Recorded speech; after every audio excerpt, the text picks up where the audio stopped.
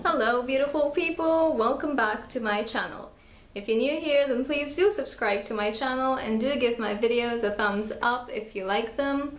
Also do follow me on Instagram where uh, I post all the new updates about my upcoming videos and um, I also answer questions that people ask me in the DMs.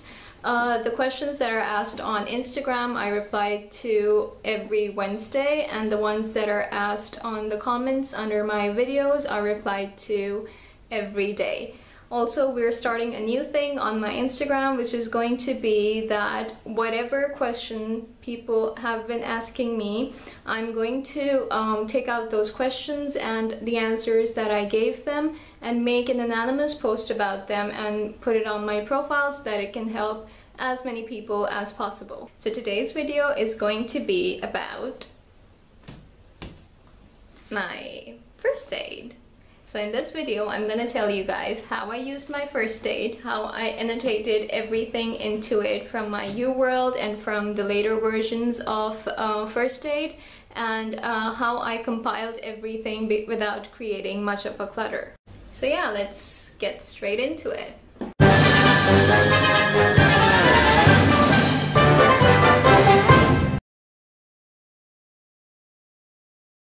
So let's get started.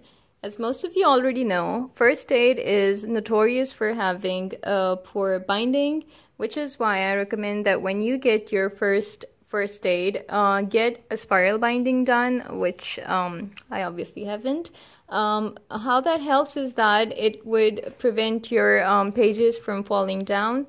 Alternatively, what you can do is that you can divide your book into um, different chapters and you can make a different uh, spiral binding for each chapter. That helps you keep track of um, the number of chapters that you're done with and the number that are remaining. Um, I did something similar to that, but um, instead of getting a spiral binding done, uh, because of the person I am, I got them stapled together depending on the chapters. For example, this is public health, and then this is neurology, and this is musculoskeletal, and so on.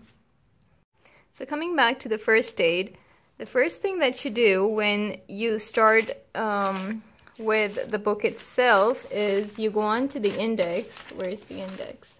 Oh, here it is.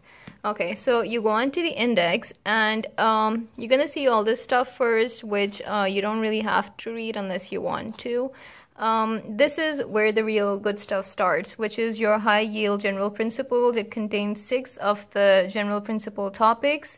So what you do is that coming here, you write down the total number of pages um, contained inside each of these chapters like so. This way you know which of the uh, chapters are bigger and which are smaller and then you do the same thing over here at the high yield organ system.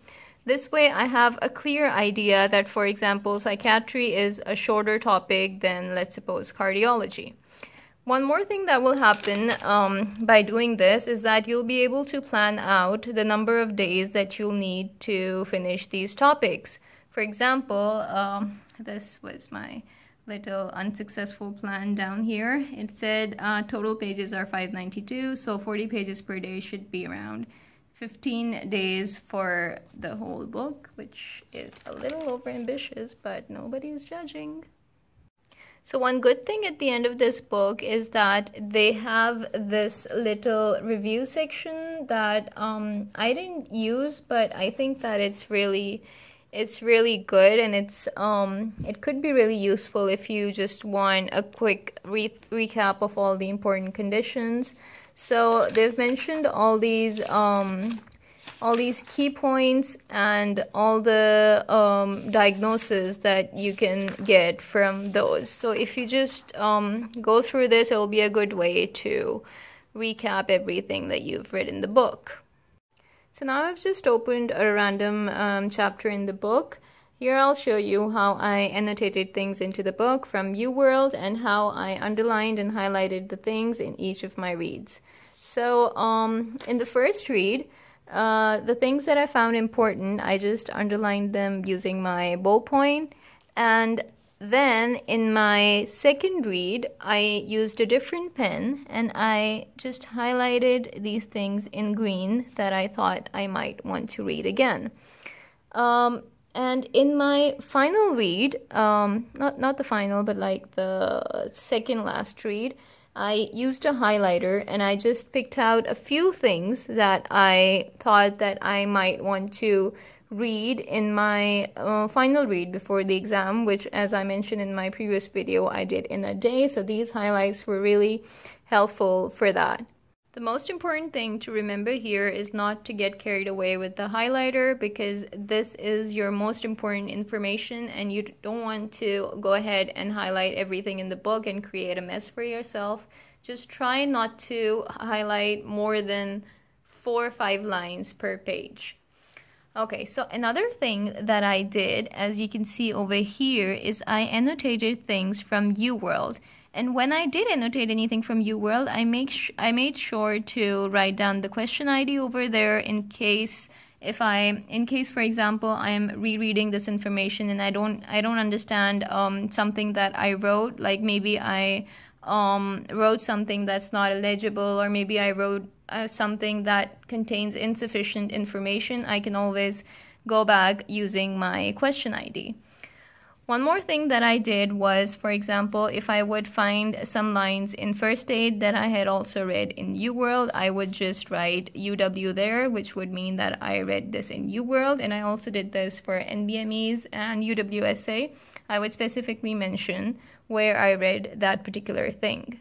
That just helped me um, find out what the most most high yield um, concepts are although first aid pretty much everything written in it is high yield you know even the little things that are written inside the brackets even they are high yield. So don't miss out on anything but you know for the things that you want to read on the last day doing um, things like this like UWorld and then you know just highlighting it it really really helps you do your final read now, some people suggest that when you get your um, spiral binding done, you should add A4 size sheets in the middle of every two sets of papers so that you can make notes over there um, when you want to. But uh, that doesn't work for me because that's going to make the book thicker and it's going to make it look more scary. So um, I prefer taking colored pages and just making small notes and, uh, you know, sticking them wherever I want.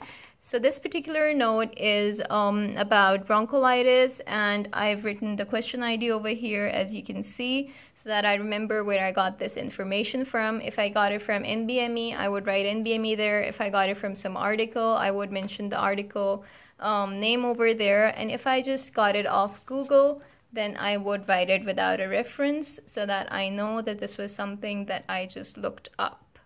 You can see I've highlighted things in my notes as well so that in my final read I don't have to read the whole thing again and I can just read the highlighted part.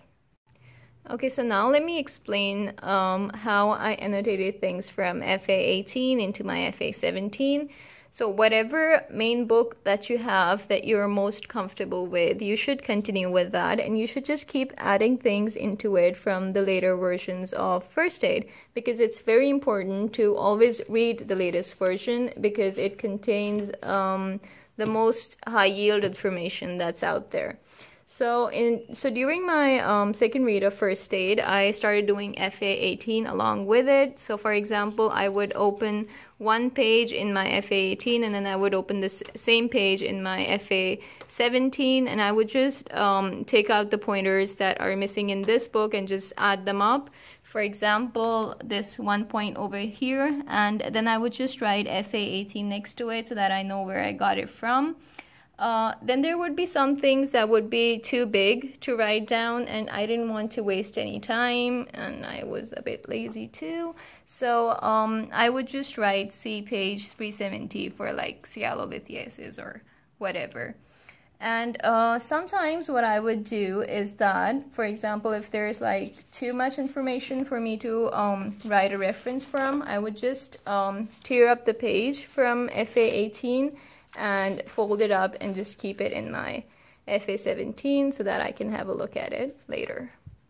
Now let me show you another page just to let you guys know what I mean. um, over here you can see that I've annotated a few things and um, there's nothing written over here which means that I got these things off Google and uh, uh, for example this annotation this is the one that I got from um, UWorld so I've mentioned the question ID over there and yeah so these are a few more notes that I had added. These are basically um, viral mnemonics. If you guys want me to do a video on these, do let me know in the comments below. And here's an example of other another note that I made from UWorld as the question ID is mentioned over here. And again, I've highlighted things in it so that I can read them at the end. One more thing that was really helpful that I wanted to show you guys is I added these um, separators or bookmarks or whatever you call them. They're like these um, strips that you can add on each on the beginning of each chapter so that uh, for example if you want to do cardiology you don't have to um, you don't have to go on looking where it is and you can just uh, pick it up from here and open cardiology. So yeah that's how it is although it's pretty messed up in my book but you know what I mean so the last thing I want to show you guys is that the images given in first aid, sometimes I would see that image in UWorld or NBME or uh, UWSA. So I would just um, go ahead and mark that image in my first aid and write down where I saw it. That way I know that that image is, is important. And sometimes there would be these um, CT scans or x-rays that wouldn't be too clear or maybe I would want to see different presentations of that particular disease. So I would just um, go ahead and Google them up and um, have a look at uh, the different ways in which it could present. There would be like a few things um, that I would read that I would think that are that they're high yield, but I wouldn't find a place to put them in the book. So I would just um, go ahead and put it on my on the first page of my book or I would just make a note about it and you know put it over here or maybe at the end. So yeah, there you go. That's the tour of my first aid, um, the first aid of a very, very messed up person, but um, yeah, you get the idea. So if you like this video, please, please do give me a thumbs up and please do subscribe to my channel. That would just mean so much to me and it's going to be so encouraging for me. So yeah, that's it. Have a nice day then. Bye-bye.